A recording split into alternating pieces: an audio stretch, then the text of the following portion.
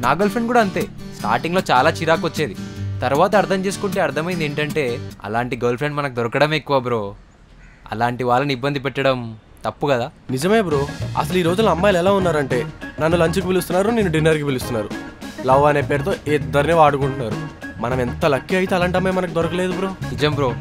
కొన్నిసార్లు అయితే నన్ను నేను అర్థంలో చూసుకొని ఇలారా ఇలారా నీకు ఇలాంటి అమ్మాయి గర్ల్ ఫ్రెండ్ దొరికిందని నా మీద నాకే ఇచ్చగలుగుతుంది bro bro bro same bro.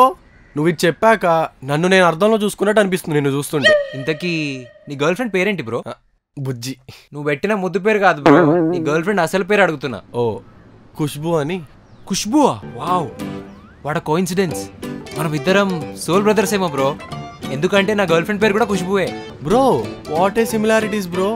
అయినా ఖుష్బు అనే పేరుతో చాలా మంది ఉంటారు బ్రో. మా ఆఫీస్లోనే ఇద్దరు ఉన్నారు మా వీధిలో కూడా ఒక అమ్మాయి ఉంది బ్రో.